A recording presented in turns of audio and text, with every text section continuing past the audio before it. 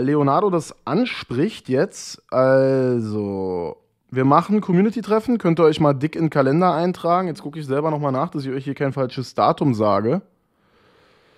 Ähm, wir machen Community-Treffen gegen Köln, weil Bayern hätte ich irgendwie komisch gefunden, muss ich ehrlich sagen. Außerdem will ich lieber, wenn vielleicht manche, selbst wenn es nur zehn Leute sind, die sonst nicht ins Stadion gegangen wären, äh, will ich lieber, dass sie gegen äh, Köln ins Stadion gehen, als gegen Bayern. Da wird sowieso wieder volle Bude sein. Wobei bei, im Moment weiß man nicht mal, ob gegen Bayern ausverkauft sein wird, wenn wir mal ehrlich sind. Das ist dann meiner Meinung nach der 12.11. Und da ist auch ein Samstag äh, 15.30 Uhr, das ist einfach optimal. Ja. Dann kannst du dich um 11 Uhr oder so treffen zum Community-Treffen, vielleicht sogar um 10. Überlege ich mir dann nochmal. Vielleicht können wir dann mal eine Umfrage machen, wie viele Leute kommen. Und ähm, dementsprechend machen wir es dann früher, damit ich auch viel mit den Leuten sprechen kann. Oder mit euch, besser gesagt.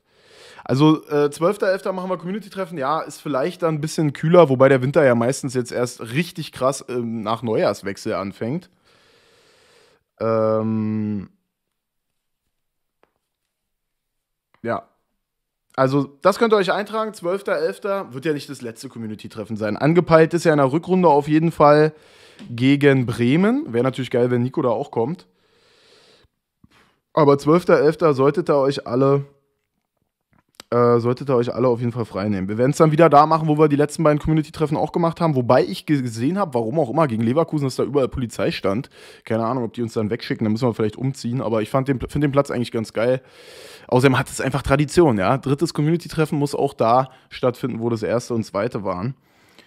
Äh, wäre gerne gekommen, lebe aber in Österreich. Ja, ich hätte es auch gerne früher angekündigt, äh, aber geht ja immer nicht wegen der Terminierung. Sonst hätte ich da auch früher angekündigt, dass vielleicht manche Leute, die dann sowieso mal nach Berlin wollen, sich das planen können. Jan BSC, hast du dich umgenannt, umgenannt Digga? Ist doch äh, oder? Achso, da steht's ja sogar. Hi Tom, wie geht's? Danke für 200 Namensänderungsbits. Fährst du nach Leipzig? Ja, das ist dann die zweite Ankündigung. Ich würde mich sehr, sehr freuen, äh, wenn ihr alle vielleicht auch mal die erste Auswärtsfahrt mit nach Leipzig antretet. Also ich werde auf jeden Fall mit Dennis fahren. Wir gucken mal, wer da noch so mitkommt, auch von seiner Familie. Die haben ja ähm, einen größeren Van, Bus, da fahren wir dann hin. Also wir werden jetzt nicht alle zusammenfahren, aber wir können uns da sicherlich treffen. Ich kenne mich da jetzt nicht so aus, wo man sich da vortreffen kann. Kommt auch aufs Wetter natürlich an. Aber bei einer Auswärtsfahrt ist es ja relativ leicht, sich zu identifizieren, sage ich mal. Und ich fände es halt richtig geil, äh, wenn man einfach nur mal so zwei, drei Leute wenigstens ähm, motiviert, dann auch hinzufahren, warum auch immer, fände ich ganz geil. Äh, vielleicht, dann solltet ihr mir einfach auf Instagram folgen. Vielleicht machen wir es auch so, dass man sich dann in der Stadt vorher trifft oder so. Also wir werden rechtzeitig hinfahren. Es ist ja 18.30 Uhr. Äh, wir werden rechtzeitig hinfahren, sodass man vielleicht vorher noch ein bisschen in der Stadt ist oder, oder sich dann vorm Stadion noch treffen kann. Das wäre ja natürlich ganz geil. Das würde ich dann auf Instagram spontan posten, weil es natürlich nicht so wie bei einem Heim-Community-Treffen ist, dass ich dann da mit Bier ankommen kann oder so. Das wird dann ein bisschen kompliziert alles. Also das ist jetzt geplant, Auswärtsfahrt. Am liebsten natürlich mit auch ganz vielen Leuten von euch, die eigentlich nie Auswärtsfahrten machen. Da würde ich mich sehr freuen, wenn ihr dann auch mitfahrt. Und damit wir den Leipzigern mal zeigen, selbst wenn die da 5-0 gewinnen sollten, dass wir da einfach Stimmung machen und einfach mal zeigen, äh, warum denn Leipzig so gehatet wird. Und es ist scheißegal, ob die da gute Arbeit machen oder nicht, sondern dass wir ein Traditionsverein sind mit richtig heißblütigen Fans. Top, wollte eh schon nach Leipzig fahren, sehr gut. Sehr gut. Aber wie gesagt, äh, Leipzig ist, äh, kommt drauf an, wo in Berlin du wohnst. Von mir zu Hause sind es anderthalb Stunden mit dem Auto. Ja, also wenn du langsam fährst, vielleicht äh, zwei Stunden. Ähm, aber das äh, geht schon. Ja, und mit dem Zug ist, glaube ich, sogar noch schneller. Also kommt halt auch drauf an, von wo. 15. Genau, Louis schreibt es gerade rein, 15.10. ist Leipzig. Ich muss jetzt nochmal gucken. Das ist Spieltag Nummer 10. Ja, da deutet sich dann auch einiges schon an wann man, äh, wo man quasi in der Tabelle landen wird. Und ich finde, ich würde mir wirklich sehr wünschen, dass Leute, die noch nie eine Auswärtsfahrt gemacht haben, vielleicht, weil das ist so das Erste, wo man jemanden ranführen kann. Ich meine, Union wäre natürlich noch näher, aber Union ist auch schwierig. Äh, Union ist auch schwierig, weil da kriegst du ja keine Karten. Und Leipzig kannst du schon Karten kriegen und das ist als erste Auswärtsfahrt ähnlich wie Wolfsburg, ja, da, da, das ist nicht so weit, ja, das ist, manche Leute wohnen in Brandenburg und fahren auch anderthalb Stunden ins äh, Olympiastadion und da würde ich mich halt sehr freuen, wenn manche da hinfahren und dann mal sehen, wie geil so eine Auswärtsfahrt ist. Vielleicht haben die dann auch unabhängig von mir mal Lust, eine Auswärtsfahrt zu machen und das äh, fände ich natürlich sehr, sehr geil. Hab eine billige Verbindung gefunden, hin für 9,99 mit Bus und zurück mit ICE für 35,99. Für ICE ist das echt günstig. Da kommst du auf jeden Fall richtig schnell an.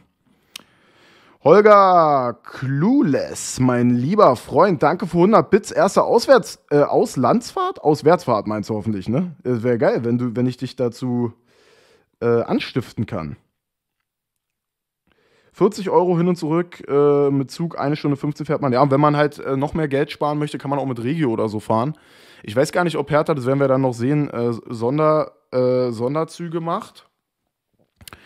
Das war ja früher auch immer ganz geil. Oder ähm, sonst kann man auch mit Regios fahren. Da kannst du, wie er es gerade geschrieben hat, wahrscheinlich schon für 10 Euro hin und zurück fahren. Also wenn man da äh, sagt, das ist mir sonst zu teuer, da gibt es auch günstigere Verbindungen. Äh, ist auf jeden Fall eine geile Idee. Äh, wann ist der Vorverkauf für RB? Kann ich den nicht, ich weiß nicht, wo, wo weiß das einer, nach wel, welchen Kriterien die die Karten äh, zur Verfügung stellen? Ich weiß es wirklich nicht.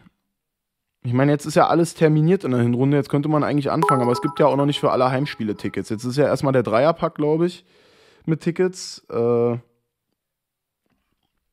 ja, gute Frage, Mario. Gut, dass du fragst, habe ich nämlich vergessen zu erwähnen.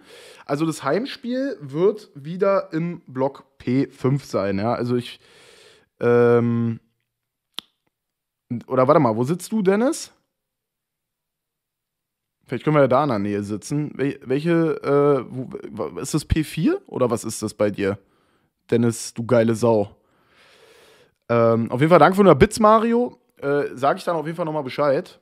Noch gibt es die Tickets ja eh nicht. Also sobald die Tickets draußen sind, äh, zeige ich euch auch, welche Tickets ich mir geholt habe. Und dann könnt ihr, wenn ihr Lust habt, müsst ihr natürlich nicht, weil ich sagt euch auch, boah, Community-Treffen ist ja schön und gut, aber dann soll der Typ sich verfatzen.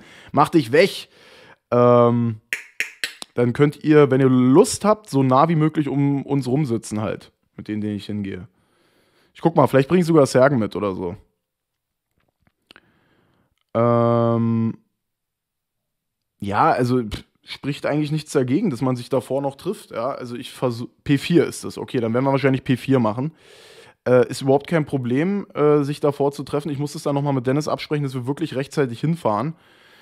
Und dann werde ich das einfach posten, wo ich da bin ja, mache ich euch eine, bei Instagram eine Standortbeschreibung oder so äh, und poste dann, wo ich jetzt bin. Ich werde euch dann natürlich auch vorher sagen, um wie viel Uhr das sein wird, damit ihr auch rechtzeitig da seid. Vielleicht machen wir das auch, dass wir uns in der Stadt treffen oder so. Ist halt auch schwer, wa?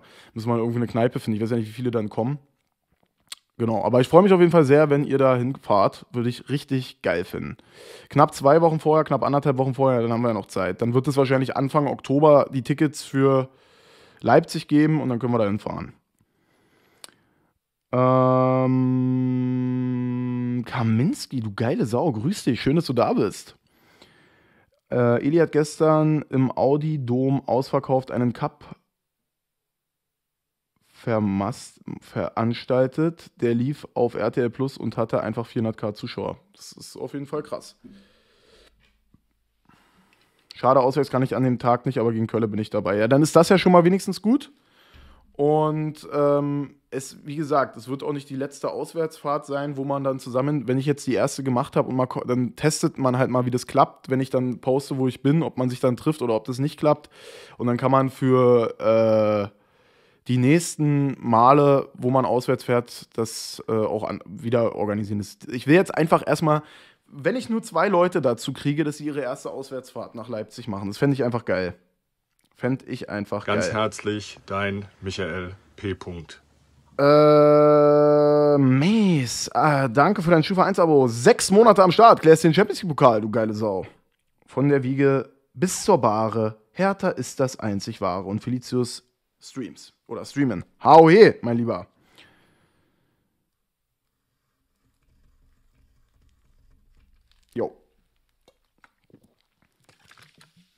So, also haben wir alles organisatorische abgehakt.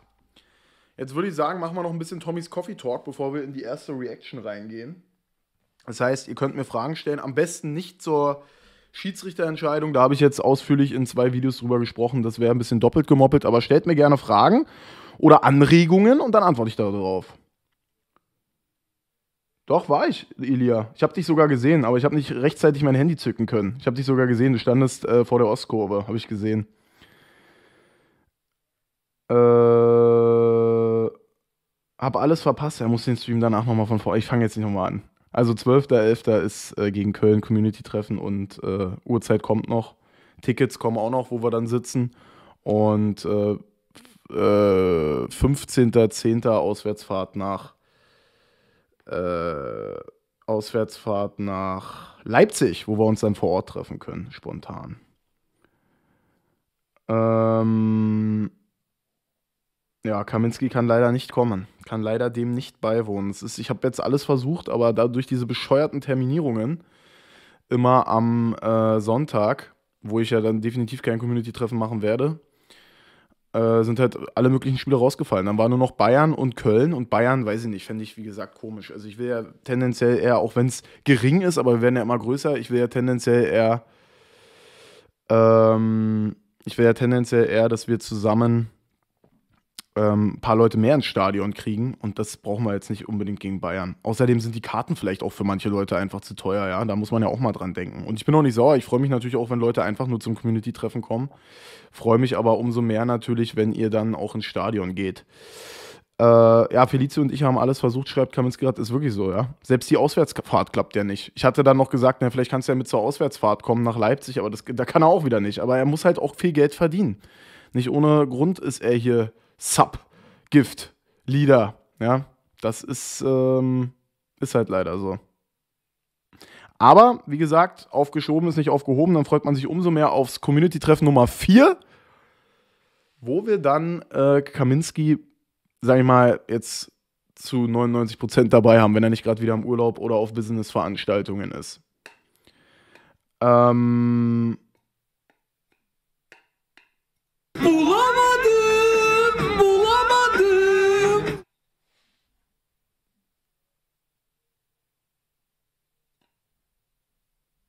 Hey, Kaminski, Alter. Ach, Kaminski, ey. Du bist doch wirklich einfach unfassbar großzügig. Ich wollte gerade sympathisch sagen, das bist du auch, aber du bist doch einfach wirklich unfassbar großzügig, Digga. Oh Mann, ey. Oh Mann, ey. Vielen, vielen Dank, mein lieber Kaminski. 1987 für 50 Subgifts, du geile Sau ein Toast auf dich, als wärst du ein Sandwichmaker. Du bist wirklich un. Also, es ist unbeschreibbar, Alter. Es ist wirklich nicht mehr zu beschreiben. Deswegen gibt es ein dreifaches Bam, Bam, Bam. Habe ich nämlich auch noch nicht gemacht. Ey, es ist wirklich mega groß, Alter. 1800, nee, 1838 verschenkte Abos, Alter. Du bist wirklich absolut geisteskrank. Vielen lieben Dank. Guck mal, wie viele Kaminski-Emotes im Chat sind, Alter absolute Subgroove-Legende auf jeden Fall. Auf jeden Fall. Digga, vielen, vielen Dank. Es ist wirklich ultra, ultra, ultra nett. Liebe geht raus. Es tut mir so leid. Dass wir ich habe ja wirklich, ich weiß ja, es ist ja keine Ausrede. Ich habe wirklich alles versucht, das so zu drehen, dass du dabei sein kannst. Aber wie gesagt, nicht zu lange traurig sein. Nächstes Mal bist du dann dabei. Das habe ich zwar letztes Mal auch schon gesagt, aber diesmal kriegen wir es wirklich hin. Nächstes Mal kriegen wir es wirklich hin. Ganz herzlich, dein Michael P. Oh, oh, oh, oh, oh, wer hat denn da abonniert? Da kann er, kann er auf jeden Fall mal ein paar äh, kostenlose Bahntickets hier rausschmeißen für die äh, Community. Deutsche Bahn, herzlich willkommen in der Edelmann-Community. Danke für dein Prime-Abo. Ja, ich erwarte ein paar kostenlose Tickets nach Leipzig. Oder wie sieht es aus? Danke dir, mein Lieber, wer auch immer du bist. Äh, wahrscheinlich ein großer Deutsche Bahn-Fan. Ähm, ey, Kaminski, ich bin immer noch äh, geflasht, ja. Du bist wirklich da geht nichts als Liebe raus, mein Lieber. Deutsche Bahn, lol. Äh, ja, mit den äh, Tickets, ich, ich muss ehrlich gestehen, ich bin da gar nicht so in der Thematik. Welchen Grund hat es, warum man die ablehnt, die äh, Online-Tickets? Ich weiß wirklich nicht, ja. Ich habe es mitbekommen, dass das gefordert wird natürlich, aber ich ich kenne die Hintergründe nicht. Grüne oder Nachhaltigkeitsfetischisten würden jetzt sagen, das ist doch völlig unverantwortlich, Tickets heutzutage noch zu drucken. Ähm, gut, Kick in die Runde, was hat Kaminski wieder angestellt? Na, was denn wohl? Na, was denn wohl? Da rollt wohl gerade der Sonderzug an, das glaube ich auch. Da habe ich zu laut über einen Sonderzug gesprochen, war. Dann kam direkt die Deutsche Bahn hier rein. ähm, keine Fankultur. Aber deswegen darfst du dir doch nicht das Leipzig-Ticket entgehen lassen, mein Lieber. Ich kann es auch für dich holen, wenn dir das hilft. Ähm, Mario, Dank von der Bits. Ähm, die Deutsche Bahn war zumindest laut Sarah von der Strickloge der beste Sponsor. Der Grund, sie fährt immer durch Wolfsburg durch und hält dort nicht an. Das ist auf jeden Fall. Haben die das heute gesagt? Mann, hör doch mal auf zu spoilern. Ich wollte mir das mit euch noch reinziehen, entweder heute oder morgen. Morgen wäre so eine geballte äh, Stricklogen-Power. Erst bin ich bei der Strickloge und dann ist die Strickloge Ganz bei mir. herzlich, dein Michael. P. Oh, Hammer Graphics, mein Lieber. Wie hat äh, euch der Stadionbesuch jetzt gefallen? Ich hoffe, es war cool. Hammer Graphics war das erste Mal mit seiner Tochter im Stadion und seiner Herzdame. Ich hoffe, es hat dir hat allen gefallen. Die Stimmung war, also besser hätte man von der Stimmung und vom Spiel her hätte man sich ja kaum ein besseres Spiel aussuchen können eigentlich, ne? Pille, 1803, mein Lieber, danke für deine Stufe 1, Abo 6 Monat am Start. Ein Toast auf dich jetzt, West Sandwich Maker. Kaminski, Alter. Jetzt ist das Kaminski so traurig, dass er gar nichts mehr reinschreibt hier. Äh, bitte heute schon Strickloge. Ja, es geht eine Stunde 20, Digga. Müssen wir mal gucken, wie wach ich nachher noch bin. Ich muss ja, ihr wisst ja, morgen wieder um 5 Uhr raus. Aber ja. VfL Wolfsburg wird heute 77 Jahre alt. Ja, da ist mein Opa und meine Oma älter. Sage ich euch ehrlich, wie es ist. Und meine Mutter ist sogar älter als Union. Naja, gut, nicht ganz. Fast. Das heißt, meine Oma und mein Opa haben mehr Tradition als der VfL Wolfsburg. Ähm, war auch das erste Mal mit meinem Dad im Stadion. Cool. Sehr, sehr nice. Lucy war begeistert. Äh, sie will wieder hin. Wir überlegen jetzt, Familienmitgliedschaft zu machen. Sehr geil. Sehr geil. Skeldavi, grüß dich. Drei Ibo-Videos? Der hat doch nur ein neues Video, was wir noch nicht gesehen haben, oder? Hat der schon drei neue? Ähm, was ist äh, dann, was ist man dann als Tabellenführer? Was? Meine Aufstellung für Mainz wäre Olli, Kenny, Kempf, Dardai, Platti, Toussaint, Richter, Serda, Dodi, Kanga, Konga, Ejuke. Naja, ich werde nochmal äh, mein, ich mach mit, ey, mein Video zu meiner gewünschten Aufstellung und zur Gegneranalyse wird schon Mittwoch kommen, weil Mittwoch wird wahrscheinlich schon die Pressekonferenz sein. Sollte die PK doch erst Donnerstag sein, machen wir es Donnerstag, aber nicht wie gewohnt erst am Donnerstag das Video oder Freitag, wenn wir mal ein Sonntagsspiel haben, sondern schon am Mittwoch. Wie wird man Wolfsburg-Fan? Das ist einfach ein Oxymoron, muss ich sagen. Das geht eigentlich gar nicht. Warte mal den 17. Spieltag ab, dann reden wir weiter. Union ist dann weit weg vom ersten. Ach komm, Union. Also ich muss mal sagen, ja, natürlich Ganz herzlich, äh, dein Michael. bin ich auch befangen, weil ich Hertha-Fan bin und mega de- gedemütigt werde von Union die ganze Zeit. Aber ich muss mal sagen, umso besser Hertha spielt, äh, desto mehr ist mir Union eigentlich egal. Also ich muss es ja auch ein bisschen verdrängen, aber desto mehr ist es mir egal. Auch wenn das mich natürlich schon sehr hart getriggert hat, zumal ich wirklich finde, vielleicht kommt es mir aber auch wirklich nur durch meinen Filter so vor, weil ich nicht äh, Union nichts abgewinnen kann, aber es kommt mir wirklich so vor, als ob Union je, also das Glück gepachtet hat. Ja, egal ob es Entscheidungen sind, Freistöße, Elfmeter, der Freistoß gegen Bayern war ja zum Beispiel auch kein Foul, äh, Freistöße, Elfmeter, äh, Tore, die sie erzielen, die haben immer Glück. Immer. Und dazu kommen natürlich noch gute Leistungen. Aber immer diese 50-50-Sachen entscheiden sich immer für die. Alleine dieses Tor vom Becker wieder, das dann entscheidend war. Ja, was war denn das schon wieder für ein Tor? Oder war das dann am Ende doch sogar ein Eigentor? Ich weiß es gar nicht, wie die das gewertet haben, aber das ist schon sehr krass.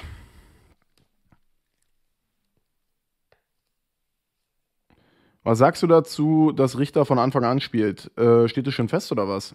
Ich, ich würde es auf jeden Fall begrüßen, aber nicht auf dem Flügel. Weil dann müssten Luke Bacchio oder Ejuke raus, was ich nicht äh, befürworten würde, sondern ich würde ihn wirklich lieber in der Mitte äh, vorne sehen. Oder als hängende Spitze. Champagne Baller, danke für Prime Abo Nummer 7, mein Lieber. Ähm, Oliver Runert hat einen Pakt mit dem Teufel. Ja, wer weiß, wer weiß. Meinst du, Richter könnte hinter Konga als eine Art hängende Spitze Zehner spielen und dann mit einem Achter und einem Sechser wäre das was? Ja, wie gesagt, bin ich absolut dafür. Vielleicht müsste man dann tendenziell eher mit zwei Sechsern spielen, weil es doch sonst arg offensiv wird. Aber Richter ist ja auch wenigstens einer, der nach hinten arbeitet. Ja, der kämpft ja, der rennt immer, kannst ihm nicht absprechen. Und das ist jetzt in den äh, in dem Spiel, glaube ich, ich habe noch nie in keinem Spiel so einen guten Richter gesehen. Ja, alleine wie er diese Elfmetersituation vorbereitet hat. Ne, erstmal diese Ballannahme, wo er einen Gegenspieler aussteigen lässt und dann dieser perfekte Ball zwischen die Abwehrkette von drei Spielern, perfekt in den Lauf, also wirklich Hut ab äh, vor der Leistung von Marco Richter, unabhängig auch von seinem Tor. Wahnsinnig gut gespielt. Ich finde gerade Richter als Joker ganz geil. Der bringt immer eine Portion Pep rein.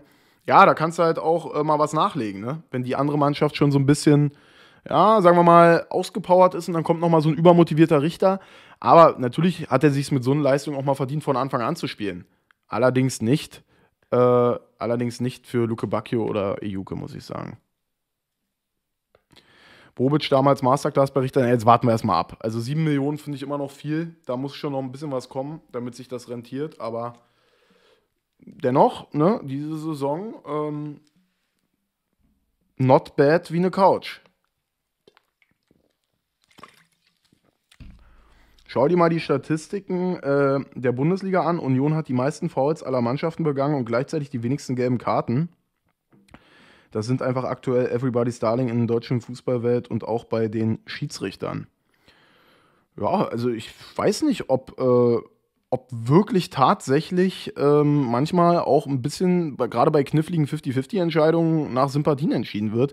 Ich hasse es aber auch, sich so in so eine Opferrolle zu begeben. Ja? Ich finde das so mega uncool, egal wo im Leben. Dann mal zu sagen, ja, wir sind nur so schlecht wegen der Schiedsrichter und so. Ja, vielleicht gleicht sich am Ende auch alles aus. Ich mag das einfach nicht, ja. Natürlich habe ich jetzt auch mega auf den Schiedsrichter rumgehackt, aber ich feiere sowas einfach nicht. Das ist immer so eine, keine Ahnung, Weichei-Mentalität. Das mag ich eigentlich gar nicht.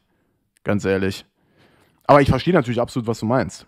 Aber ich will da immer nicht so also ich, man verliert sich dann schnell da drin. Ich will da immer nicht so reinverfallen, weil das nervt mich bei anderen Mannschaften auch oder bei anderen Fangruppen auch, wenn die dann immer nur rumjammern. Das, äh, ja, Ihr wisst schon, was ich meine. Mario, danke für nochmal 100 Wenn Selke sein Gehalt rechtfertigen müsste, was er bis jetzt bekommen hat, dann fehlen doch 60 Tore. Ja, vielleicht macht er ja diese Saison noch. Mmh.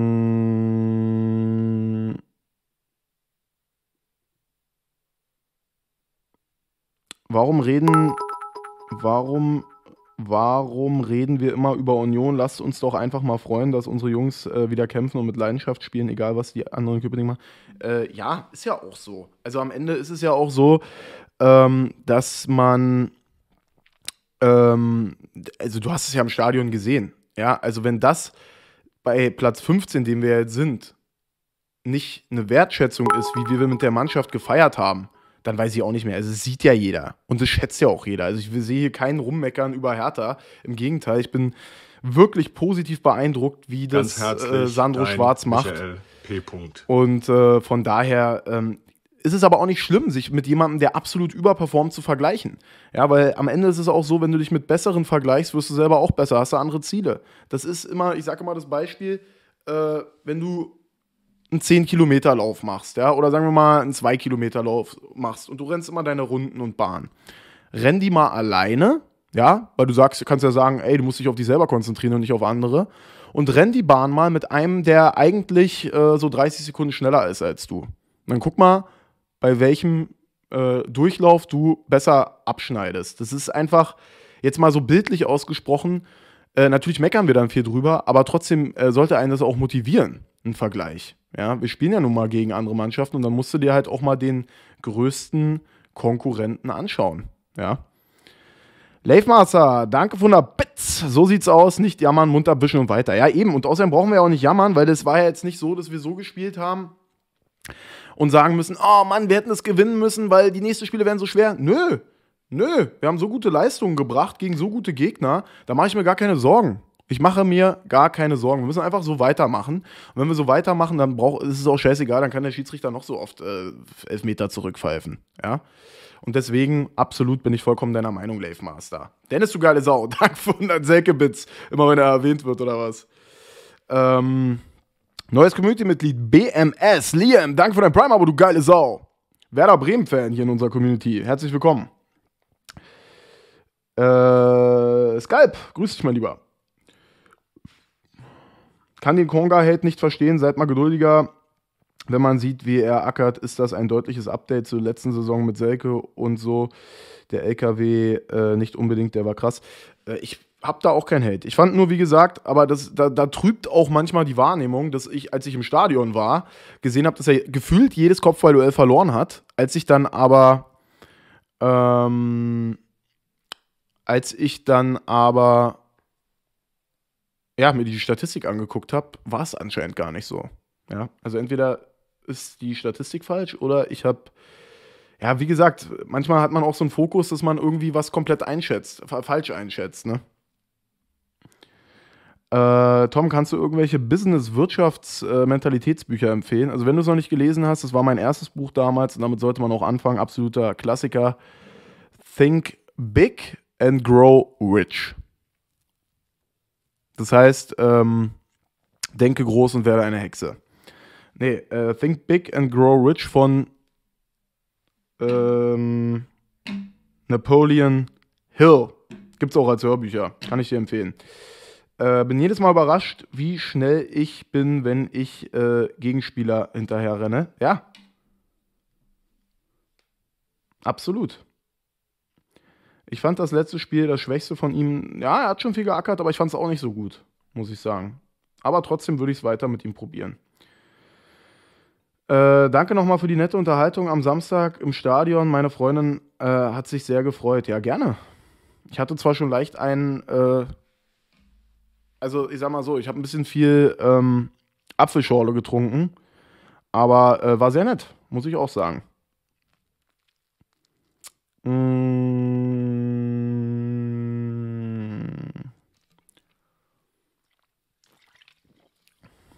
Wenn ich schon Selke höre, bekomme ich jetzt Bremer Gänsehaut. Ne? Ihr, habt, ihr seid den ja gut losgeworden mit eurer Abstiegsstrategie damals. Das war ja ganz clever von euch gemacht, muss man sagen. Ähm, der neue Investor von Chelsea hat Tuchel im Sommer eine 4-4-3-Formation vorgeschlagen. Habe ich auch gelesen. Ich habe immer noch nicht ganz verstanden, wie das gemeint war. Irgendwie meinten die ohne Torwart oder so. Ich habe es immer noch nicht ganz verstanden, was sie damit sagen wollten. Konga hat alle Kopfballduell verloren. Ja, laut Statistik nicht. Ja, habe ich auch so gefühlt. Ich habe ein, ein Kopfballduell gesehen, was er gewonnen hat, aber laut Statistik nicht. Ähm, hab dich oft mit einer Cola gesehen. Ja, das wollte ich jetzt nicht erwähnen. Irgendjemand hat gerade geschrieben, Hallo zum vierten Mal, aber ich weiß nicht mehr wer, weil diese Nach wenn so viele Leute schreiben, äh, das ist nicht böse gemeint, aber ich sehe einfach nicht alles. Die Nachrichten gehen so schnell runter. Will hier jemand einen Duxch? Äh, ich tausche den gegen einen Selke, wenn du es machst. Wie fandest du die Stimmung gegen Leverkusen? Fantastisch. Gerade im Vergleich zum Spiel gegen Dortmund war viel, viel besser. Richtig krasse Stimmung. Wirklich. Und auch danach, wir gucken uns das gleich nochmal an. Gänsehaut, ganz ehrlich. Ähm, hat er hier gerade noch irgendwas gelesen, was ich vorlesen wollte? Ach, Chiara. Chiara, zwar nicht mein erster Dreier, aber das beste Spiel unserer Hertha, was ich bisher im Stadion gesehen habe. Jetzt einfach so weitermachen und dann holen wir auch die Punkte. Stimmt, du wolltest ja endlich mal einen ersten Sieg sehen, wenn du im Stadion bist, aber das wird diese Saison kommen. Muss nur häufig genug hingehen. Danke für 100 Bits, meine Liebe. So, jetzt Marco war es. Grüß dich, mein Lieber. Ja, sorry, ich, ich sehe es wirklich nicht. Ja? Wenn so viele Nachrichten kommen, dann überliest man das einfach leider. Äh, fühlt euch nie ignoriert oder so. Manche Nachrichten ignoriere ich wirklich, ja, weil ich einfach keinen Bock habe, darauf zu antworten oder so. Aber äh, die meisten ignoriere ich nicht mit Absicht, sondern das ist äh, schwierig, da auf alles zu antworten, wenn hier so viele Nachrichten reingeflattert kommen.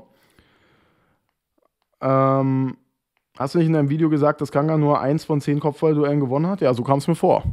Oder so habe ich mitgezählt. Aber ich habe natürlich auch nicht von Anfang an mitgezählt. Vielleicht hat er die ersten fünf Kopfballduelle gewonnen und hat dann insgesamt 5 von 15 gewonnen, keine Ahnung. Aber äh, so kam es mir vor, als ich mitgezählt habe, ja.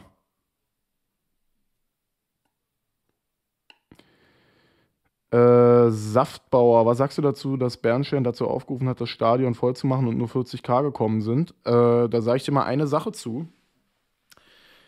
Die geschätzten 40.000 Zuschauer, ja, die Max Jung bei der Pressekonferenz angegeben hat. Oder sie machen es ja immer so, die sagen, wir, wir, rechnen mit so und so vielen Zuschauern und so vielen Auswärtszuschauern. Ich denke, dass zu dem Zeitpunkt, wo er das gesagt hat, vielleicht so 33, 35.000 Karten verkauft wurden. Und normalerweise werden noch mal so 2.000, 3.000 mehr verkauft am Spieltag. Gerade an einem Samstag kann es dann auch noch mal mehr werden, vor allem weil wir dann gegen Augsburg gewonnen haben. Ich denke schon, dass es einen Effekt hatte. Ich habe es ja selber an Hammer Graphics gesehen und an vielen aus der Community, die mir geschrieben haben. Ich habe mir ein Ticket gekauft äh, weil Kai uns nochmal dazu aufgerufen hat. Ich glaube einfach, dass die Schätzung vorher schon sehr, sehr aufgerundet war. Ja, und ich glaube, dass wenn Kai das nicht gemacht hätte, dass wir zumindest mal nicht die 40.000 geknackt hätten. Da bin ich mir fast sicher. Andersrum muss man auch sagen, wie viele Leute äh, sehen das tatsächlich. Wir können ja gleich nochmal gucken, wie viele Leute dieses Bernstein-Video gesehen haben und den Instagram-Post. Lass es 10.000 sein. Ja, davon haben schon ganz viele eine Dauerkarte oder eh schon eine Karte gekauft. Äh, also wie viele Leute, die noch kein Ticket hatten, an dem Tag Zeit haben. Michael P. Kann er überhaupt äh, ansprechen und da wirklich zu bewegen. Aber ich denke trotzdem, dass es was gebracht hat, falls du es äh, wissen willst. Aber das ist sowieso mega schwer zu messen. Aber ich denke, die können das schon messen, weil die ja normalerweise Zahlen haben müssten der letzten zehn Jahre. Äh, wie viele Zuschauer kommen dann immer noch, also Tickets drei Tage vorher und wie viele kommen dann noch tatsächlich? Wie viel Prozent mehr kommen dann noch am Spieltag? Und ähm, dann kann man ja mal so den Schnitt nehmen und gucken, wie viel mehr das waren. Vielleicht war es auch wirklich unerheblich, weiß ich nicht, aber ich glaube schon, dass es einige bewegt hat, hinzugehen. Kinski 5, danke für dein Schufa 1 Abo, dritter Monat am Start, klärst, dich, äh, klärst dir die Meisterschale. Genau. Also äh, Hammer und seine Familie hat er erreicht. Und dann hat er vielleicht auch damit gleich noch ein neues Mitglied gewonnen. Ja, muss man ja auch mal sagen. Ähm, die Ticketpreise lassen es halt auch nicht zu, sonst denke ich, dass ein paar mehr da gewesen wären. Wobei gegen Leverkusen war es jetzt nicht so teuer, glaube ich. Also da wurden ja auch ganz viele Blöcke nicht aufgemacht, muss man auch ehrlich dazu sagen, aber dadurch fallen natürlich viele günstige Tickets weg, die eigentlich noch verfügbar wären und dann sind nur noch die teureren da, in den Blöcken, die halt auf sind. Aber am Anfang waren ähm, die Tickets ähm, äh, günstiger auf jeden Fall als gegen Dortmund, die Resttickets waren. Aber trotzdem ist es natürlich saftig. Und man braucht sich auch nichts vormachen. Ich habe es ja schon mal gesagt, es gibt ja eine Sparkassenstudie, dass mittlerweile äh, 60 Prozent der Deutschen ihre kompletten und darüber hinaus äh, monatlichen zur Verfügung stehenden Mittel ausgeben, ohne irgendwas zur Seite legen zu können. Ja, und das ist, äh, wird natürlich bei jeder Inflationsrate, die monatlich reinflankt, äh, nicht weniger. Muss man einfach mal so sagen. Ähm, 40k sind normal gegen Leverkusen, Karten waren Kategorie 3, hätte mir 46k erhofft. Ja, das sind, aber das sind auch noch Nachwirkungen der letzten drei Jahre, muss man einfach mal so sagen. Lass uns mal eine Saison so spielen, wie wir jetzt in Anfang der Saison gespielt haben und dann kommen nächstes Jahr auch wieder 50.000. Und wenn wir ein neues Stadion haben, ist es sowieso anders. Bei dem 2-2 von Leverkusen haben wir unsere Plätze nicht genau gesehen, dass dieser Asmun den Ball durchgelassen hat. Mein Vater dachte, es war ein Hertha-Spieler und hat gesagt, wer lässt ihn denn da durch? Das war bestimmt Uremovic. Ja, da kann man nicht falsch liegen. Ja? Erstmal den Uremovic beschimpfen und dann ist gut. Oh, Goldmann ist auch da. Ich finde es in Mainz schwierig. Richter ist für mich offensiv ausgerichtet und neben Serda auf der 8 ist das vielleicht ein bisschen zu viel. Würde Richter gerne vorne sehen. Hat er in Augsburg doch äh, gespielt als Stürmer, gerade bei seinem Lauf einfach mal probieren. Ja, ich meine, wenn wir sowieso ohne hohe Flanken in die Mitte spielen, dann kannst du auch einen Richter auf die falsche 9 stellen. Weil bisher ist es ja so, wenn dann wird Konga tief geschickt. Also ich habe bisher noch keine Flanke auf den hoch gesehen, die ankam. Twitch-Sub äh, Twitch ist halt teurer. Tatsächlich ist ja der Twitch-Sub billiger geworden sogar, ne? Es hat, glaube ich, früher 4,99 oder 5,99 gekostet, aber da kommt bestimmt auch irgendwann eine Erhöhung. Also die haben das letztes Jahr mal 1 Euro günstiger, also 25% günstiger gemacht. Oder 20%. Ähm, könntest du mal ein Update zum neuen Stadion machen? Ich bin äh, gar nicht mehr auf dem neuesten. Ja, ich auch nicht. Es gibt ja, es gibt nichts Neues, was ich mitbekommen habe. Demirbay sagte im Interview nach dem Spiel, dass es sehr, sehr laut war im Stadion. Ich finde das Interview bloß nicht mehr im Netz. Es war auch sehr, sehr laut. Also ich, ich kann es nur noch mal sagen. Stellt euch diese Stimmung mal vor in, einem, in einer reinen Fußballarena. Ganz herzlich, dein Michael P. David, danke für dein Prime-Abo. Vierter Monat am Start. Du geile Sau.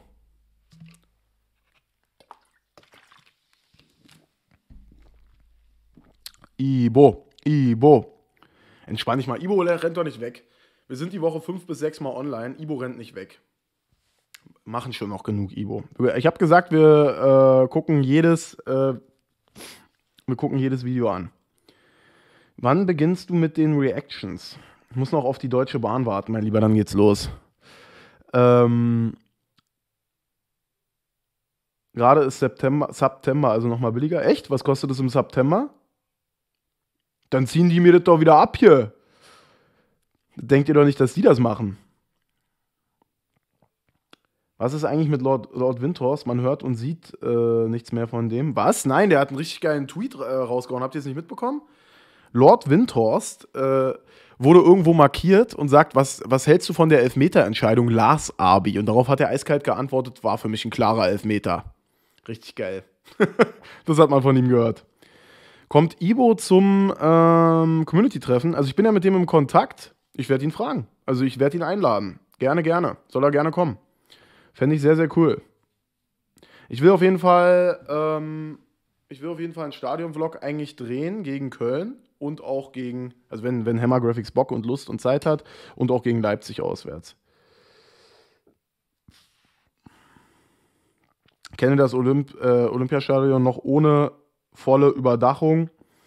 Durch das Dach hat sich die Lautstärke enorm erhöht, ja klar. Das war natürlich nochmal eine Ecke härter. Ne? Hinten offen, oben offen, das war natürlich nochmal ein bisschen schwieriger. Herr Sokrates, grüß dich.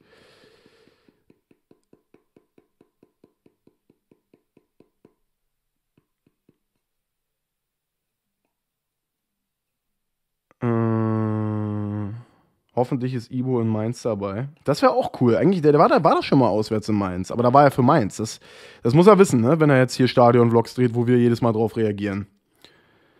Gehen wir danach äh, auch kurz zu Olli? Digga, würde ich spontan entscheiden. Also würde ich jetzt erstmal so nicht einplanen. Die können ja gerne alle auch kurz bei uns vorbeikommen. Äh, können wir dann spontan entscheiden. Je nachdem, wie viele Gespräche wir schon geführt haben, wie früh unser Bier leer ist, ne? wenn ich nicht genug, äh, oder unser Eistee meine ich natürlich, wenn der leer ist, dann müssen wir ja wechseln. Würde ich dann schauen. Ähm, vielleicht auch nach Leipzig ist, denke ich, näher für ihn und würde mich freuen, wenn er ein paar Leipziger mit seinen langen Gliedmaßen auf die Eier geht. Das wäre natürlich auch eine Möglichkeit. Das wäre eine Möglichkeit für ihn. Hm. Auf welchem Tabellenplatz siehst du Hertha am Ende der Saison? Das ist für mich überhaupt nicht einschätzbar. Bundesliga ist überhaupt nicht einschätzbar und der ist recht nicht so früh jetzt. Ähm, der geht nach Augsburg am Wochenende, der Ibo. Echt? Okay, schade.